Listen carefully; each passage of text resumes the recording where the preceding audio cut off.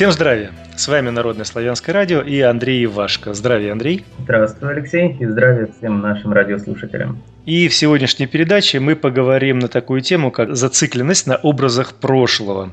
Я думаю, что тоже эта тема насущна, тоже она актуальна на сегодняшний момент, потому что очень часто люди становятся некими меланхоликами, которые впадают в некую ностальгию, в такую зеленую тоску о прошлом. Кто-то о коммунизме, кто-то о социализме, кто-то вообще о батюшке царя, а кто-то идет еще более глубоко и говорит про времена двоеверия, а кто-то еще уходит дальше, говорит про то, что вот было у нас великая держава, было у нас копное право, теперь у нас ничего этого нет, и вот такие мы несчастные.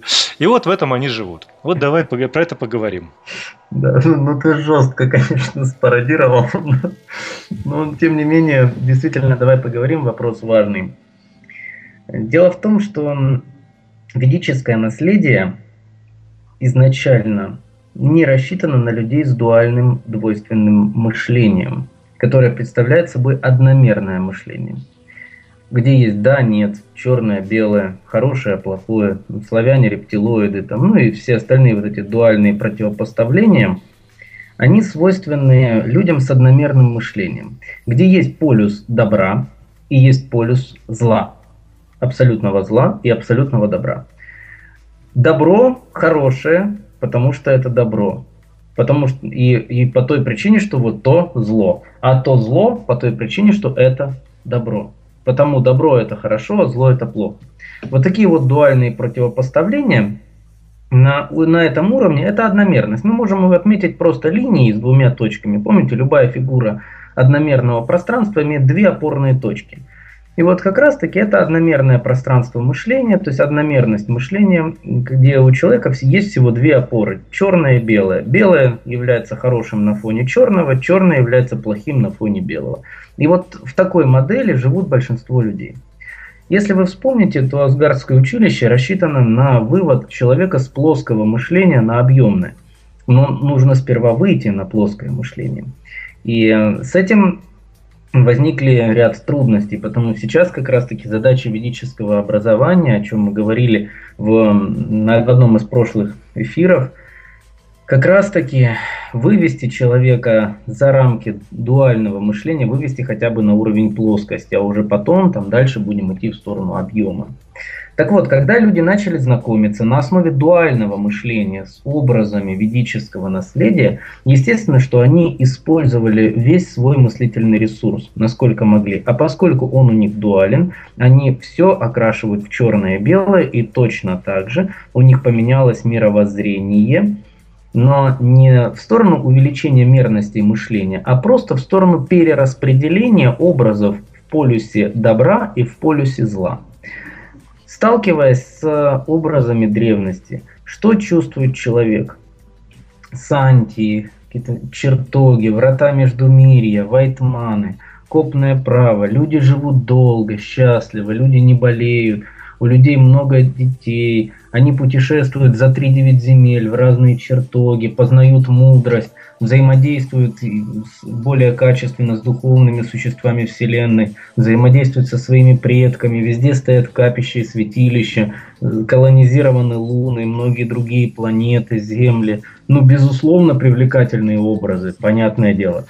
А на фоне этого, когда человек перестает грезить об, о прошлом ведическом и смотрит на настоящее, сталкиваясь с болючими, требующими проработки невежественными моментами, естественно, что на основе дуального мышления у человека возникает желание оторваться от реальности и сбежать в собственные грезы о ведическом прошлом, которые они даже не застали.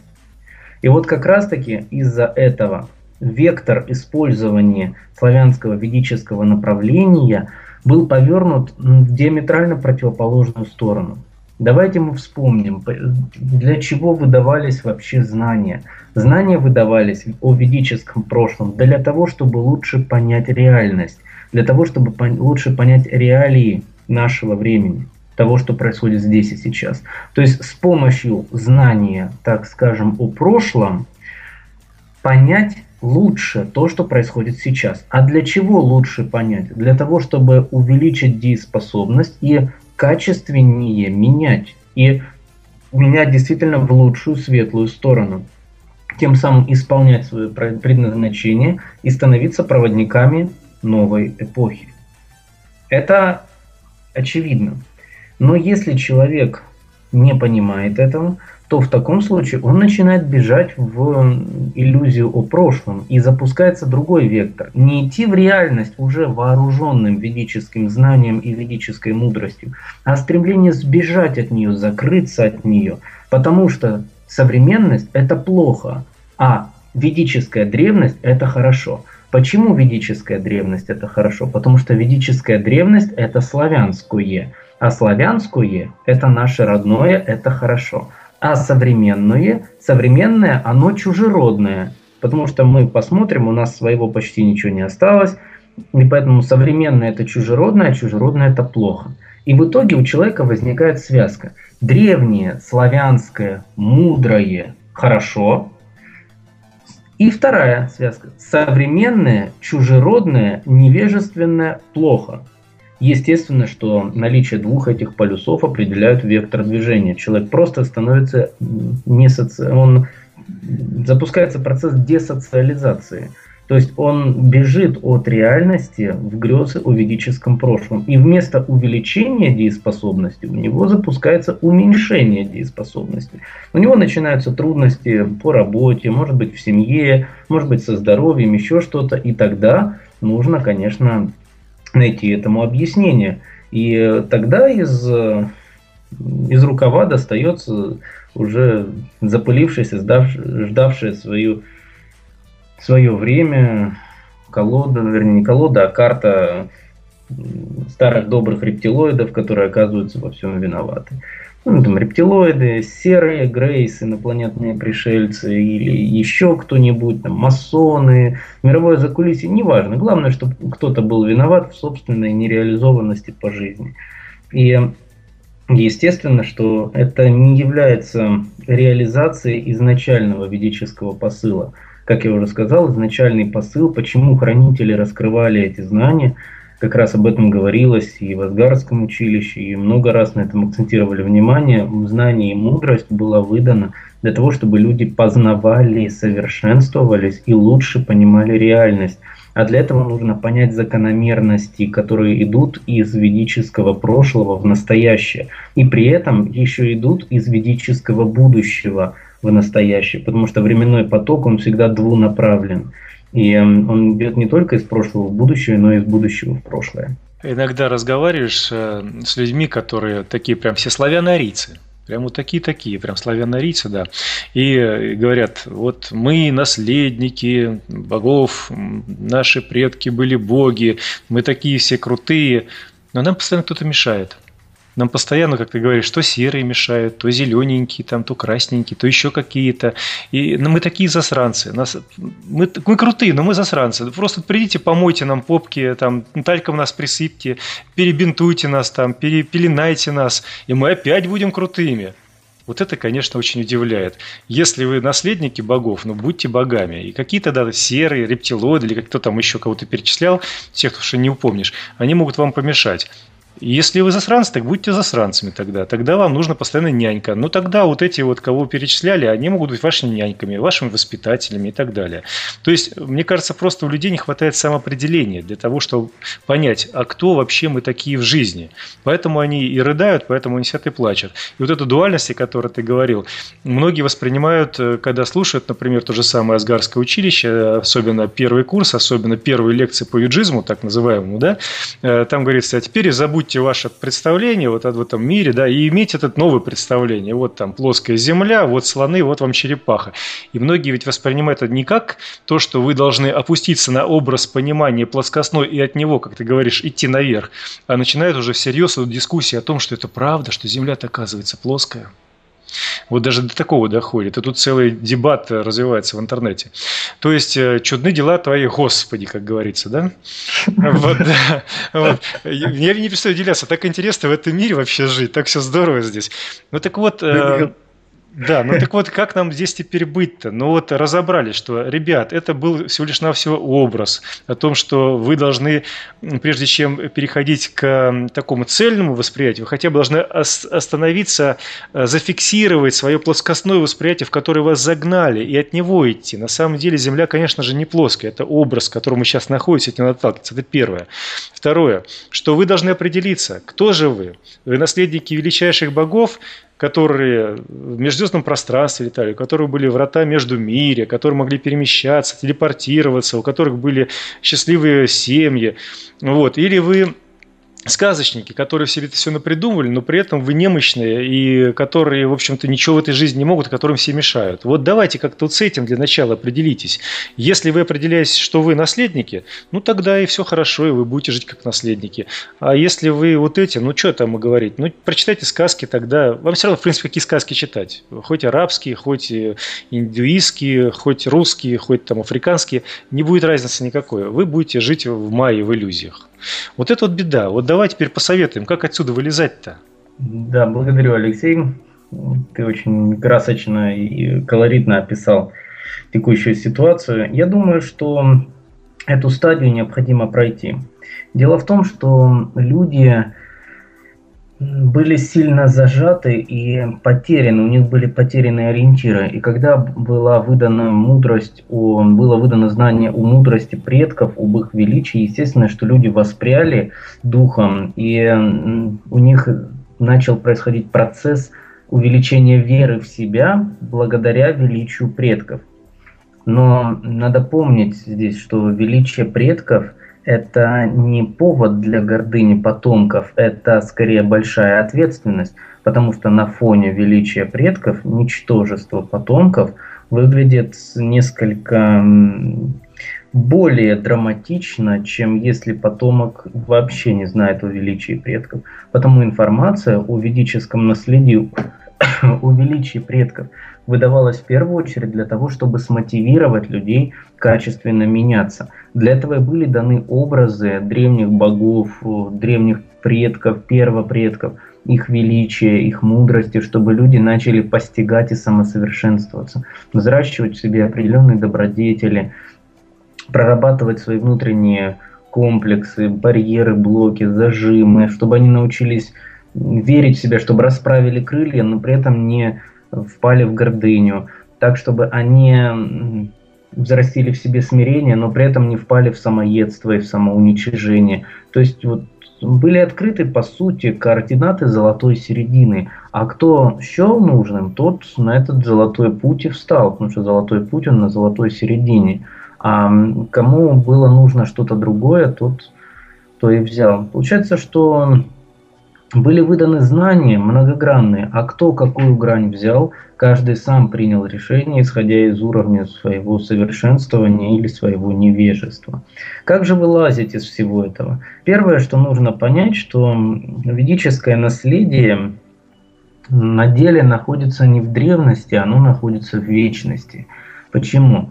Потому что наши предки уходят не в древность, они уходят в вечность. И потомки приходят из вечности. Получается, что вечность – это такая временная координата, где прошлое и будущее встречаются вместе. Понимание этого приводит к тому, что человек начинает путешествовать во временном потоке не слева направо, справа налево, по горизонтали времени, как мы привыкли работать, а по вертикали времени, когда он переходит в режим вертикали времени, где есть вечность и бесконечность, и есть здесь и сейчас. Дело в том, что к вечности у человека есть доступ через духовную работу здесь и сейчас. И благодаря этому у него есть, когда у человека есть понимание это, он может как раз уточнить некоторые знания о ведическом наследии через ту же самую работу в потоковом состоянии, о которой мы говорили в одном из предыдущих эфиров. То же самое через какие-то медитативные практики, через озарение, во снах ему может что-то являться. Это все элемент соприкосновения с вечностью. Для того, чтобы не было вот этой древнерусской тоски, древнерусской ностальгии, воздыхания о том, насколько велики были наши предки, давайте еще раз в этом убедимся, еще раз проностальгируем о том, как жалко, что мы все это потеряли и какие плохие рептилоиды, серые или еще кто-нибудь, кто нас этого лишили, то естественно, что это не приводит к духовному росту. Вот ключом к выходу из этой ситуации является приоритет самосовершенствования. То есть если человек начнет отталкиваться от образов ведической древности для того, чтобы стать лучше, самому стать лучше, то в таком случае он сможет, оттолкнувшись от этих образов, качественно изменить самого себя. И примеров тому масса. Как только человек впадает больше в какие-то социальные процессы, облекая или политические процессы, облекая это любой, в любой словесной обертке это можно сделать. Можно облечь свою социально-политическую, общественную заинтересованность в виде там, образов того же копного права, может еще какие-то. То есть э, много можно социально-политический интерес завернуть в любую словесную обертку. Да только люди же понимают, что есть обертка, а есть содержание. Поэтому духовное развитие всегда в ведические, в ведические времена и сегодня тоже для тех, кто хранит как раз образы ведической, ведической древности, образы пришедших нам из вечности, для них в приоритете всегда является совершенствование самих себя. И здесь возникает интересная такая эволюция взглядов, которую прошло даже на моих глазах довольно много людей. Когда человек знакомится с ведическим наследием, с образами ведического наследия, ему сразу хочется поделиться со всеми окружающими. И когда люди, которые делают ставку на работу над собой, именно взращивание в себе каких-то качеств, добродетелей, качественные изменения самих себя. Такие люди считают, именно те, кто стремятся распространить знания, такие люди считают, что работа над собой чуть ли не проявление эгоизма, о том, что в условиях, когда держава гибнет, когда там дальше идет парочка таких словесных штампов, которые способствуют эмоциональному нагнетанию, о том, что вот именно сейчас, в такое время, когда наша отчизна находится в таком состоянии, именно сейчас важно как раз доносить до людей правду, а вы тут вместо этого сидите в медитации и занимаетесь собой, это эгоизм, это бесчеловечно по отношению к другим людям. Потому что, дескать, вы пользуетесь, а другим не даете. Но постепенно человек вот эту свою рьяность, он, он реализует ее, пытаясь взаимодействовать с людьми, с широким кругом, пытаясь как-то расширить круг, постоянно доносить до людей что-то. А потом он понимает, что спустя какое-то время, что самое полезное, что он может сделать для своей отчизны, для своего рода, для своего народа, для человечества в целом, для великого перехода, так его назовем, для рассвета сварога, все, что он может сделать, самое лучшее, что он может сделать, это качественно изменить самого себя. Потому что новая эпоха характеризуется в первую очередь более высокими вибрациями. И если человек будет соответствовать этим более высоким вибрациям, то в таком случае он самим фактом, тем, что он жив и тем, что он живет в явном мире, он будет энергетически способствовать этому переходу. Но этот путь непростой. Гораздо проще и привлекательнее кажется яркая такая стезя человека, который там с кем-то бодается, с ветряными мельницами борется, облекая это в обертку то, что они, как повстанцы из «Звездных войн», борются с галактической империей зла, которая представлена у нас здесь в виде масонов, ящеров и так далее. И в этом плане, как можно выйти из данной ситуации? Просто поставить приоритете номер один самосовершенствование, качественное изменение себя и работать с другими людьми по мере наличия у них запроса. Есть запрос, значит пока со стороны людей есть запрос, мы действуем. Но может быть настанет такое время, когда люди перестанут спрашивать, перестанут быть источником этого запроса. В таком случае будем двигаться дальше самостоятельно в том составе, который есть. Так как никто не, не нарушает закон свободы выбора, а кто нарушает, тот получает по голове.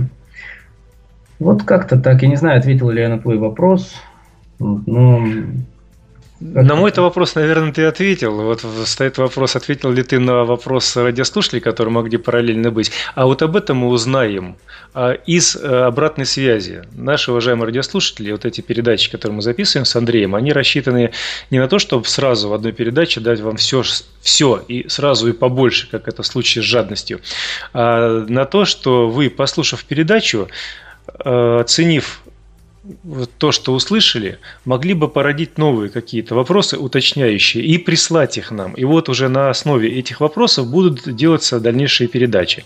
И обратите внимание, каждая передача, она так или иначе связана с предыдущими. Поэтому Э, лучше всего, естественно, прослушивать все передачи, потому что так или иначе не связаны, и чтобы потом было понятно, когда вы слушаете передачу, о чем идет речь, вот нужно знать предыдущую, например, передачу, или, может быть, там потом послушать последующую, чтобы картинка целиком сложилась. Вот это надо учитывать, когда вы прослушиваете э, цикличные передачи, которые в цикле. Итак, значит, мы сейчас э, поговорили о зацикленности на э, объектах, образах прошлого и понимаем, что зацикленность – это все здорово, все хорошо, но необходимо смотреть вперед.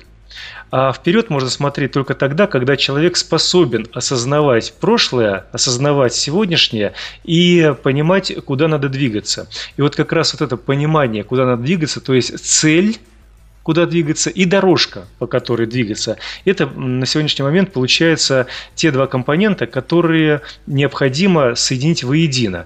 И если у вас еще есть силы на движение по этой дорожке к этой цели. Вот это третий компонент.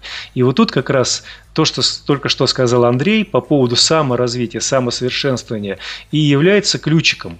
Если, к примеру, вы такой весь гуру при гуру, если вы все прекрасно видите, все прекрасно знаете, и вы даже дорогу увидите, по которой можно дойти до той цели, но при этом у вас нет сил, то вопрос, а кого вы можете с собой туда повести в светлое будущее? И вообще, сможете ли вы сами до туда доползти? Поэтому самосовершенствование – это как раз вот в моем примере и есть тот ключик, который позволит вам двигаться по выбранной дороге к необходимой цели. А когда вы на себя навешиваете всех подряд, сказав, что я такой прям светлый-пресветлый, я сейчас всех поведу в светлое будущее, прям такой Иисусик новый появился, только в ведическом направлении.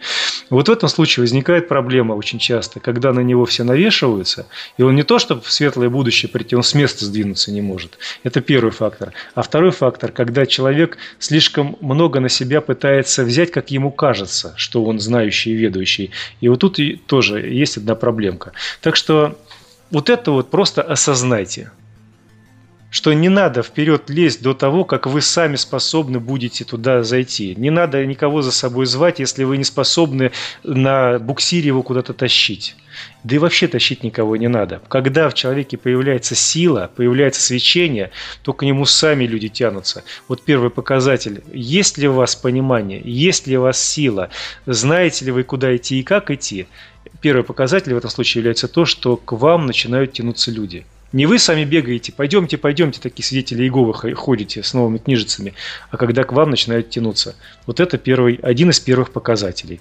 Ну и давай, наверное, уже в завершение как-то подводить итог и что-то по сегодняшней теме дополнишь уже, и мы будем прощаться. Да, конечно. Я как раз хотел отметить, что в новую эпоху никого не получится затащить. Как бы мы не испытывали сострадания ко всем живым существам и к людям в том числе, но каждый должен просто сам сделать свой выбор. И эм, если кто-то надеется, что кто-то придет и его спасет, и затащит его в новую эпоху, то знаете, друзья, что этого не будет. А те люди, кто уверены, что они смогут вас протянуть в светлое будущее без вашего непосредственного участия, то есть взять вас на буксир, как сказал Алексей, то знаете, что эти люди либо, может быть, в чем-то где-то не разобрались, либо сознательно обманывают.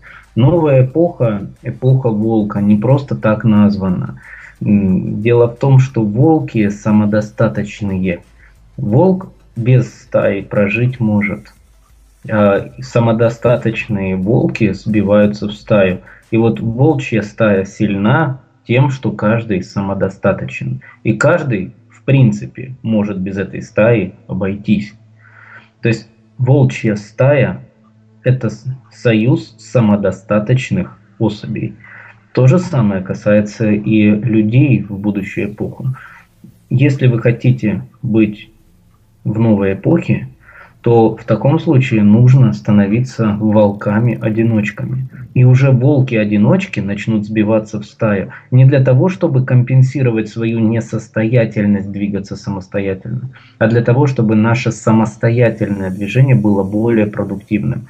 Получается, что у нас есть режим индивидуального творчества у жизни и самосовершенствования, а есть режим совместного творчества и самосовершенствования. И поэтому, друзья, просто делайте свой выбор. Славянскому миру все меньше, в славянском мире все меньше есть линия взаимоотношений ведущий ведомый. Все больше есть линия идущих. И вопрос в том, куда идут. И если мы с вами идем в сторону эпохи волка нам надо качественно изменить человеческую породу. А начинать нужно, естественно, с себя. То есть с того, с кого начать сложнее всего.